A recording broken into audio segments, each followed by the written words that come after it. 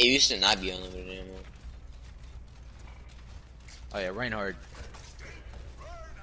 hey, you hitting it.